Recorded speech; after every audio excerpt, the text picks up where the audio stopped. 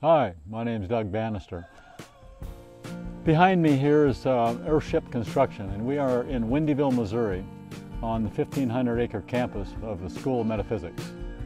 I've been involved with the concrete industry since the 60s, and I've done all sorts of concrete. I am an ACI certified nozzleman using big two inch hose and, um, and uh, uh, 190 CFM air compressors to do structural concrete.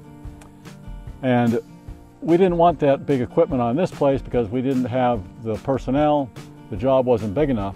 And when I came across the stucco sprayer, I thought, let's give this a try. So I called Nolan and we got into a conversation about what the School of Metaphysics is and how we were going to use it. And I explained to him that we're a not-for-profit educational and service organization and we're volunteers, everybody's a volunteer here. And as I explained what we did here and how we're a sustainable community, he said, uh, I'd like to send you that sprayer. And so uh, he did that and we used it and uh, I can say as a concrete professional it worked very well. You will go on concrete. Well, telling the concrete to go on. So I had the opportunity to work on an Earthship built here at the College of Metaphysics campus in Missouri. And an Earthship is a sustainable structure that's created out of mostly recycled materials, starting with tires that are compacted with dirt and rocks, and then we um, really compact them with sledgehammers. And that was that was stage one. Stage two was coating the tires with a uh, concrete layer to protect it and to make it more stable, and really just to um, make the tires last longer. So we started out by doing this by hand, and just like this entire process of creating this was um, evolution was a theme. We started out with something, not really knowing what we're doing, and we would learn little skills and little things to to make it faster and better and more efficient.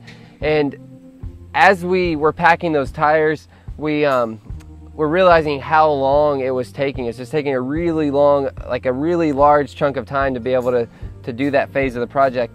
So then we were introduced with the uh, concrete spray gun that really made it nice and easy. We were able to accomplish a huge portion of the, um, of the uh, actually the entire retaining wall within hours, which um, at the rate we were going, it would have took us days and days to be able to do that by hand. And, and most of us who were on this project are students um, in our school from 16 different uh, cities across the Midwest. And we all have a variety of skills in different um, backgrounds and and most of us, including myself, did not have a direct experience with concrete. So we were able to just step right in and and be able to pick up the gun and it was easy to use and we're very grateful for that.